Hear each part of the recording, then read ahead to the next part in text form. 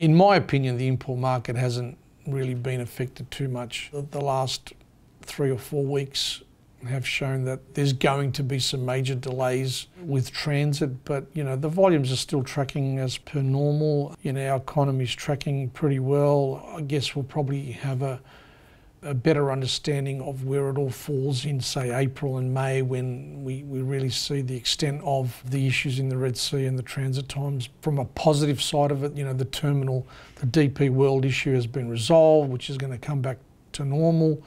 We're not seeing a lot of delays with customs or quarantine and, and so on.